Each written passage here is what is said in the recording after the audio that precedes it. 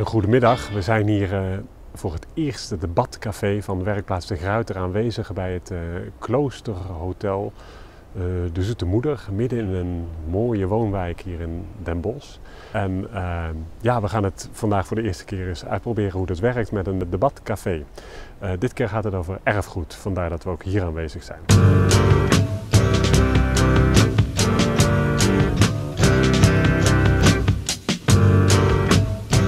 Ja, kijk, uh, wat er speelt is dat erfgoed uh, in de loop der tijd een andere positie heeft gekregen. Je hebt over herbestemming van erfgoed. Maar voor de crisis was het een soort uitzondering. In de crisis was het plotseling heel modern en hip ja. en was het het enige wat nog werkte. En nu zitten we na de crisis en dan is de vraag, wat doen we nog met het erfgoed? Want inmiddels beginnen we weer nieuw te bouwen. De essentie voor mij is, erfgoed gaat over de liefde uh, enerzijds, maar vooral ook over de dromen en ambities van mensen. Ja. Uh, uiteindelijk zijn het, het werd hier ook gezegd, het zijn de verhalen, het is storytelling, maar het gaat, een gebouw is niet zomaar een gebouw, een doos van stenen, het zijn verhalen. En dat maakt dat die ook naar de toekomst toe, voor mijn gevoel, wel uh, nog steeds een rol van betekenis blijven spelen. Als je, nou, je komt naar huis en zegt, goh, ik heb vandaag iets gehad, dat vond ik leuk om eens over te babbelen. De jongeren, jongeren, dat vond ik wel heel erg goed uh, terugkomen. Die kwamen heel veel terug, hè? Ja, ja en dat is wel uh, wat een uitdaging is denk ik voor erfgoed uh, herbestemmers.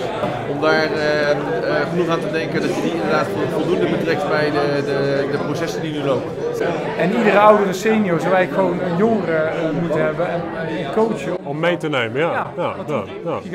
de jongeren willen wel, maar alleen de opleidingen. Die moeten nog even mee in, in, de, in de ontwikkeling van de, van de opleiding. Ja, ja. Uh, maar ik zie dat die jongeren gewoon inderdaad gewoon een rol willen spelen, zeg maar. Uh, we moeten alleen wel de opleidingen nog aanpassen, als nou, ik het goed begrepen punt, heb, hè, rondom erfgoed. Punt, dat punt is wel een zorg. Maar die, het onderwijs aan zich gewoon meenemen in debatten, is misschien wel een interessante uh, uitdaging, zeg maar.